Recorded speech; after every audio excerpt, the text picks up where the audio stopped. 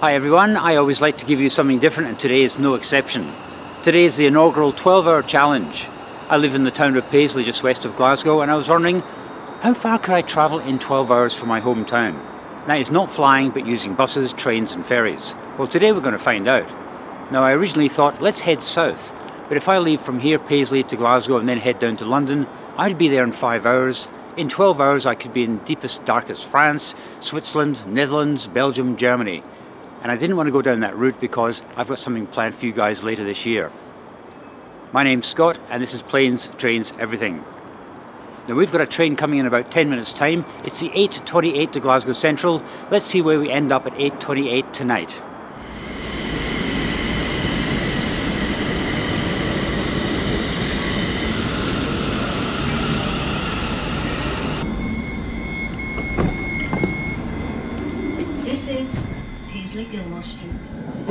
Are now approaching Glasgow Central. Please mind the gap when alighting from this train.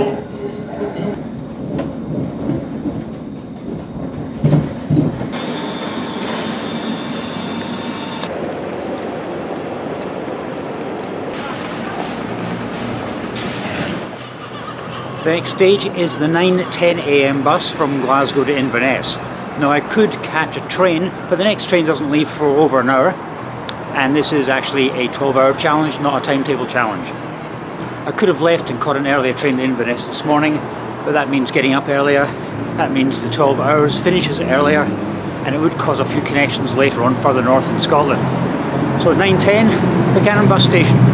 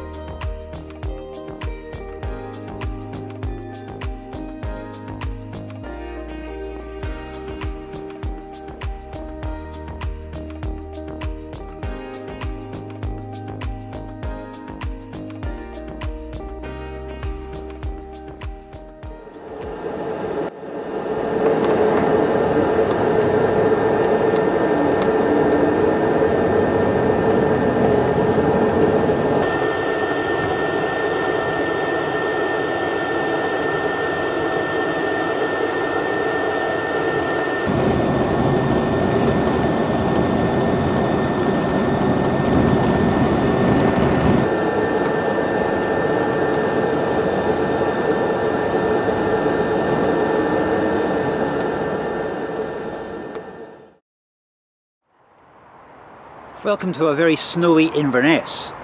The next section of this epic journey is by bus from Inverness to Wick. Now we're not catching the train and that's for a very specific reason. Back in the day you used to be able to catch a train from here, Inverness, to Georgemas Junction. The train would then split. Part would go north to Thurso and part would go east to Wick. But to save money by not paying two salaries for two train drivers, they've amalgamated the services and now the train goes Inverness Georgemas Junction, Thurso, back to Georgemas Junction, then to Wick. That effectively increases the journey time by 25 minutes.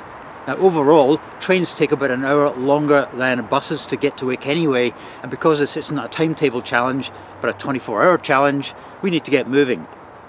Anyway, I've got about an hour to kill here in Inverness between buses, so I'm going to get a badly needed coffee to warm me up, maybe a bite to eat because it's lunchtime, and I'll see you back at the bus station. Iya.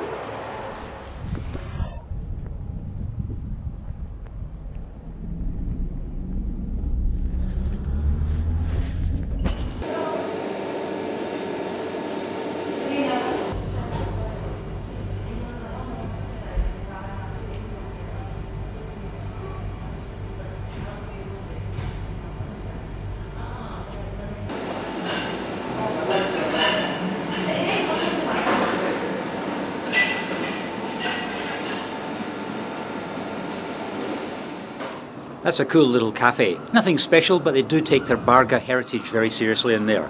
How many cafes have you been to which have got a display of motorbikes? Right, stand number two for the bus to Scrabster. We'll be getting off at Wick.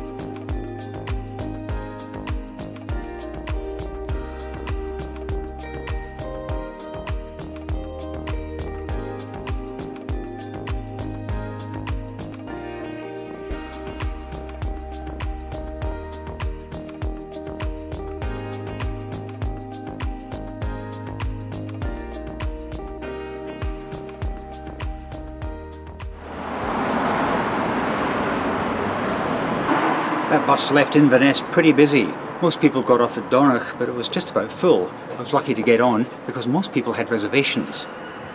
Well, here we are in Wick. It's a place that I've never been to before, but unfortunately I don't have time to explore the town. But I do feel kind of comfortable here because my distant ancestors all came from the, the Caithness, Sutherland part of Scotland.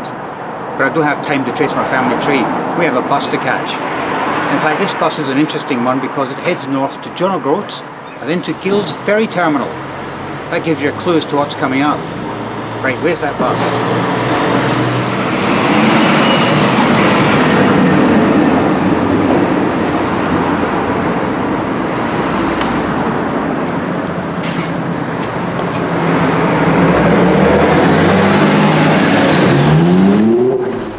The look you give when your bus number 77 isn't on the bus timetable.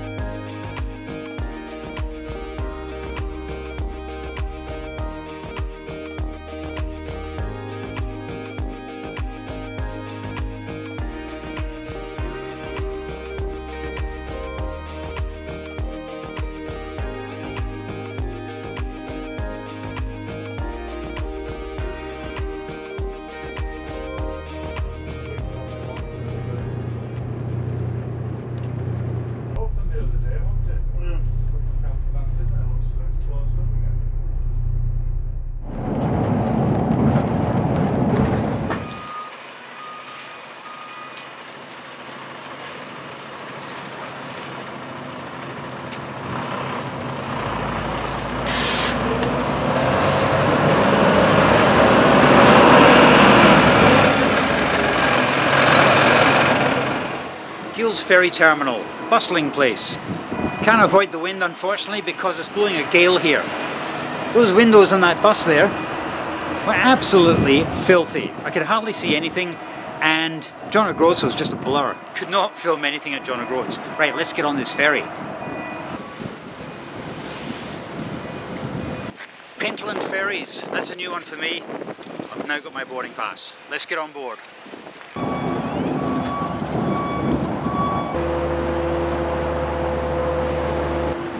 ferry leaves in about 25 minutes and we've still got about two hours before our 12 hour challenge is over.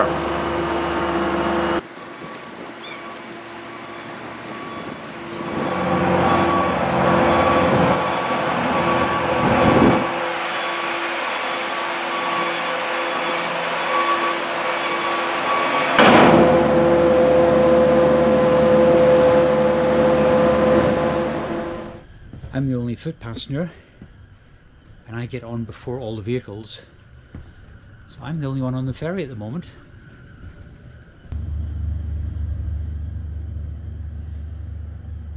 Another empty lounge. We're about to set sail and the destination is St Margaret's Hope. Now it's Scott's Hope that the connecting bus is still there. I hope we don't run late. We've only got about 12 minutes.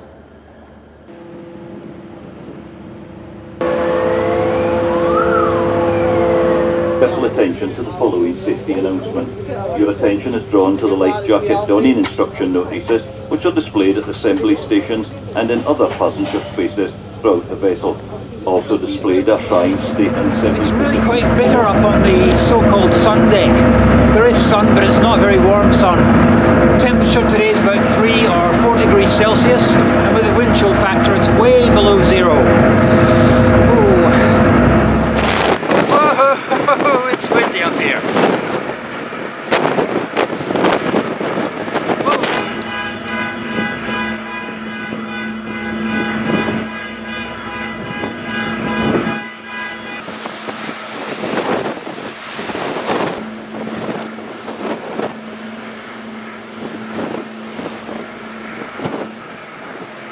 I've been to John O'Groats before, but I've never been to the Orkney Islands. This is the first, and this is the furthest north I've ever been in the United Kingdom, and you guys are here with me as well.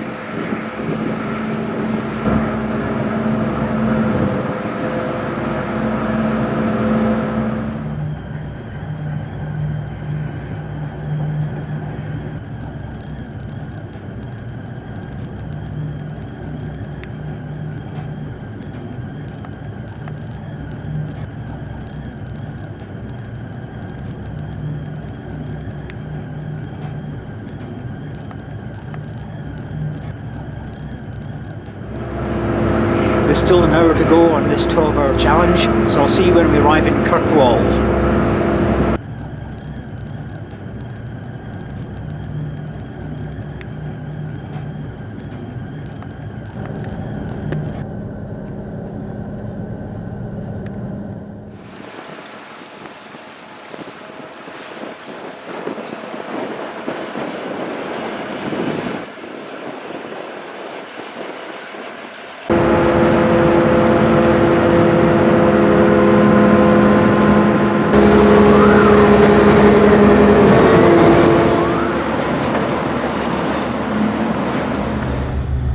No sign of this bus yet. Am I worried? Not yet. No sign of this bus. It's running late. So I went over and spoke to one of the crew who were hanging around a car and he said, oh, there's always a bus that connects with the ferry, but it sometimes runs very late. Fantastic.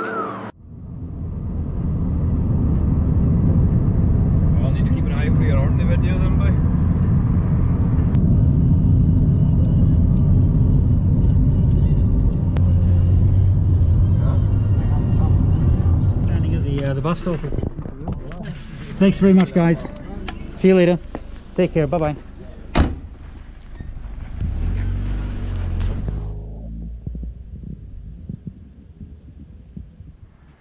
That all turned out not quite as expected. I was standing there, and one of the guys at the ferry terminal said, Where are you heading into? Kirkwall? And I said, Yes. He says, Just jump in. So I got a lift with these two very friendly guys into the centre of Kirkwall. We did actually pass the bus on the way, so I wasn't really cheating. The bus would have turned up eventually, but at least I'm here with plenty of time now to get maybe fish and chips for dinner. What have I achieved? Well, as the crow flies, I've got it down on a bit of paper here, 223 miles north by northeast. Total of 346 miles travelled. What have I learned about public transport? Generally speaking, it, it is reliable, except they really need to wash their windows. Anyway, guys, thanks very much for watching this crazy 12 hour challenge. We did make it, only just, thanks to the help of these guys. I'll see you next time.